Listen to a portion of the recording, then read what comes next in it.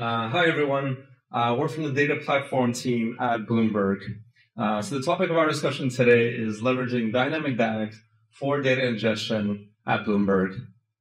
Uh, my name is Ivan, and I've been at Bloomberg for four years. Hi, everyone. My name is Gabby, and I've been at Bloomberg for over a year. So before we get started, uh, for those of you who are unfamiliar with uh, Bloomberg, Bloomberg is a financial technology company founded in 1981. So our main product is the Bloomberg Terminal, uh, which is a software that delivers a diverse array of information, news, and analytics to more than 350,000 subscribers in 170 countries. So you can think of the terminal as a huge real-time information aggregator that lets our subscribers take action related to their business and investment decisions. Uh, so the Bloomberg terminal is used by financial professionals uh, around the globe, ranging from those who work in investment banks and hedge funds to governments, regulators, and national and central banks. Basically, anyone who's interested in the global capital markets. What differentiates us from a lot of tech companies is that data is our product. Uh, the Bloomberg terminal is a trusted source for financial data such as pricing, trade volumes, and valuations for traditional financial instruments, such as stocks, different types of bonds, commodities, futures, currencies, uh, mortgages, and many more. Uh, for example, the mortgage securities are built on traditional data sets, such as loan level data, historic principal and interest repayment amounts, projected future repayments, and more. Our subscribers from banks, hedge funds, etc., use this information to make key investment decisions. Now here you can see some snippets from the Bloomberg terminal. So this screen is an example of company information about United Airlines' stock. And here's a graphic of the US Consumer Price Index to track inflation. Uh, so on top of the traditional financial data, uh, we also collect and distribute alternative data to supplement decision making. Uh, and these examples are pharmaceutical drug pricing and sales, uh, airline flight totals and jet fuel consumption, marine traffic, port waiting duration, vessel details, uh, historic carbon emission estimates by the company, and even credit and debit card analytics and foot traffic data. So we call these alternative because the contents can't always be neatly categorized into a financial domain. And many of these are actually ingested using data pipelines that use Airflow, uh, which is the type of data that our team is responsible for. Uh, so here are two more snippets from the Bloomberg terminal on alternative data. Uh, so on the left, uh, the graph displays a total prescription count for a specific drug, and the right side displays the weekly demand forecast for jet fuel and the number of scheduled flights for the next six months. So as you can see, neither of these are related to specific financial instrument, However, this supplemental knowledge can supplement uh, investment decisions. So, yeah, one of the key problems we face at Bloomberg is that it's expensive and time consuming to maintain custom pipelines for diverse data sets in different domains. Our team specifically deals with this problem as it relates to alternative data. Before our team integrated Airflow, we were maintaining custom pipelines that were more difficult to maintain and debug as it was not user configuration driven. The bottleneck of that process was that it was expensive and time consuming to maintain custom pipelines for these diverse data sets with different domains. This is because, as opposed to traditional financial data sets, the delivery and structure of alternative data sets is much more variable and is unique to each data vendor and industry. Engineers who are responsible for reliable and timely delivery of data to the terminal often lack domain knowledge about the data sets and how to model, transform, and aggregate raw data into client insights. On the other hand, the domain experts who, who do possess uh, knowledge on how to model the data lack the technical tools to maintain production data pipeline. So, the solution that we've created is a classic configuration driven ETL platform that leverages Apache Airflow and dynamic. At the high level, the raw data is dropped from a third party vendor. It will then go into a, business logic transformation engine from where Airflow will then do the loading process. Airflow will load the data into a relational database management system like Postgres. Then that data will be made available in the terminal for those for those of our clients who are interested in that data. This is all configurable by Bloomberg's data analysts every step of the way. Our talk will focus on how we utilize Airflow's dynamic DAG to help us create these dynamic pipelines. So uh, Airflow is our orchestrator for data ingestion into the relational database. So it can be served within the Bloomberg terminal. Uh, the user-defined configurations, which are made by the analysts, are basically translated into dynamic DAGs, which determine which tasks are to be performed based on configurations, as well as the sequence of tasks that occur when new data load comes in. Uh, the dynamic DAGs then compute the snapshot data based on point-in-time loads load the new snapshot into a persistent storage, and perform any additional success and failure actions. Uh, this automation basically exposes customizable functionality without an engineer's involvement. So why not simple DAGs? Uh, why do we need uh, dynamic DAGs? So as a reminder, especially for those of you who are new to Airflow, a DAGs or directed acyclic graphs is a collection of all the tasks that you want to run organized in a way that reflects the relationships uh, and dependencies. We need dynamic DAGs because we have a large variety of configs that each generate a distinct pipeline. Using simple DAGs means that we would have to create each of these permutations in advance, essentially copying each DAG definition, definition across with just slight modifications. Uh, this is obviously not ideal since it wastes time and duplicates code engineering resources to be utilized much better. And if something changes, we would then need to change every single DAG definition, which is cumbersome. And with so many different variations, this will undoubtedly introduce bugs. And plus, migrating to Airflow would be much more difficult without the flexibility that dynamic DAGs offer. So, how are dynamic DAGs created?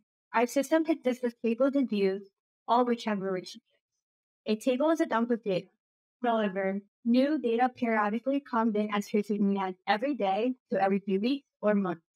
This means that data are very, uh, tables are very dynamic in nature and are constantly changing. A view is a predefined SQL, SQL query that can combine or aggregate data from a single table or even multiple tables. What clients see are these different views that are created. An analyst can have two tables that have a relationship. They can create a view containing data from both tables to combine necessary information for clients. So, for example, we have a vehicle name table and a vehicle sales table. We want to show the number of sales per vehicle, so we will want the name of the vehicle and the number of sales for it. We will create a tree uh, view querying that information from those two tables, shown here using a join. Now, this is this example is a simple view, but there are way more complex views that contain many joins and aggregations. So, these tables and views also have configurations associated with them, which are created by the analyst. Tables have a configuration called a merge. As mentioned before, tables have new data being added constantly.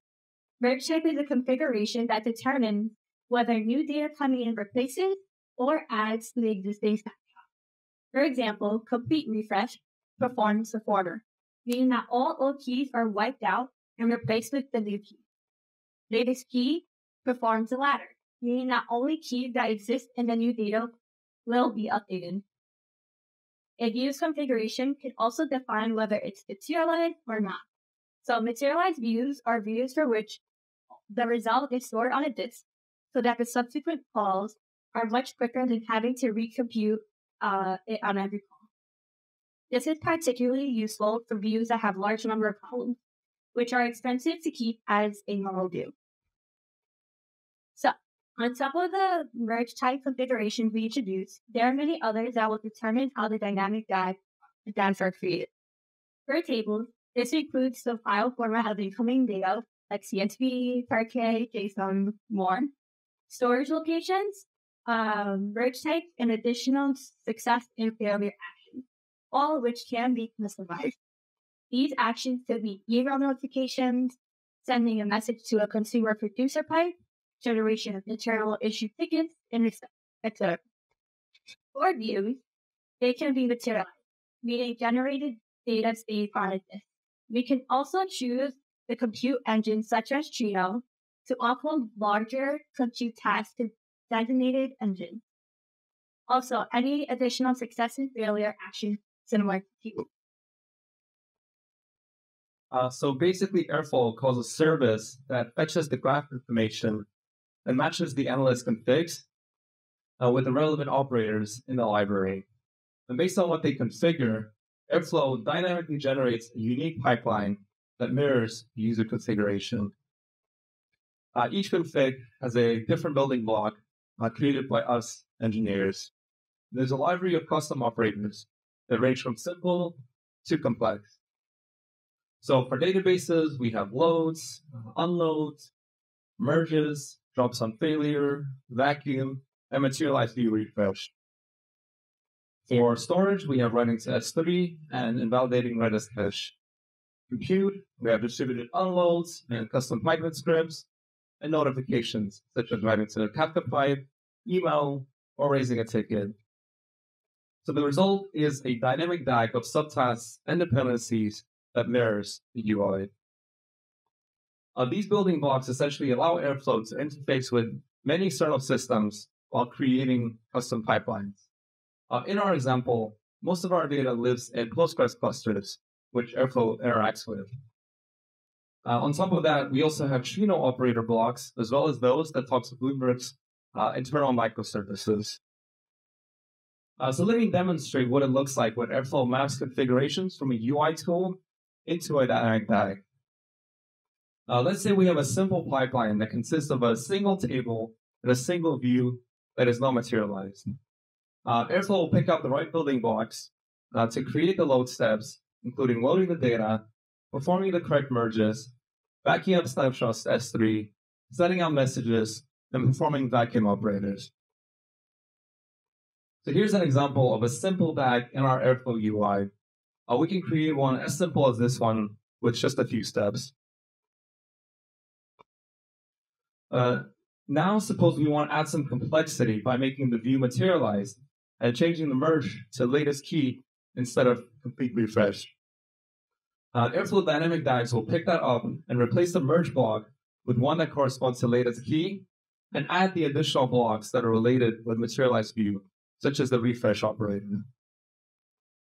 Um, the user also wants to create internal issue tickets when the view refresh fails. There's a new building block that will only get that will only be triggered if it fails. Similarly, if users want additional actions when view refresh is successful, they can choose to send a message to, say, the Kafka pipeline. Now, this is particularly useful in our case, uh, as we have a process that uh, generates an alert whenever our weekly junk data set prices change. This gets picked up by the automated news team, and a news article is published immediately to notify clients of the changes that occurred. And similarly, if you have multiple tables that feed into the same view, Airflow's dynamic DAGs will create two parallel table operators that both feed into the same materialized view refresh operator. Um, and the materialized view refresh, refresh operator uh, will then wait until both tables are updated before, uh, before performing the refresh. So this helps us save resources. And here's an example of a more complex DAG in the Airflow UI. It can have a large number of steps and dependencies, and shown here. So as all of our data ingestions rely on these building blocks, testing becomes extremely important we have a suite of basic unit tests for each of those building blocks. We also have a range of integration tests, which are called test DAGs, that can cover the different variants of dynamic DAG as much as possible. As for system tests, users can test out features and pipelines. They will test out the majority of client-facing ingestions on dev before promoting them to production. All these test DAGs also run in every environment we have in order to catch any environment specific issues. Since we have many dynamic DAGs, we want to make sure everything runs smoothly and quickly. For example, we, when we noticed that our dynamic DAG was screening the database too often, we implemented a Redis cache to cache these DAGs for later use. Another issue we discovered was that dynamic DAG generation took a long time. We implemented some of Airflow's best practices, like moving all calls to Airflow variables within the functions that require them, require them, and converting top level Python imports to local imports inside functions. We also keep track of the performance using built-in Airflow metrics to connect to dashboards like the schedule heartbeat. You can find all these best practices in the Airflow documentation. Uh, so as of today, uh, we support 1,600 custom pipelines that are built using dynamic DAGs and 700 client-facing data sets. So we support 200 plus internal users from 11 different product teams and process up to 10,000 weekly uh, file ingestions. So this simply would not be possible with our old infrastructure. And this concludes our talk. Uh, any questions?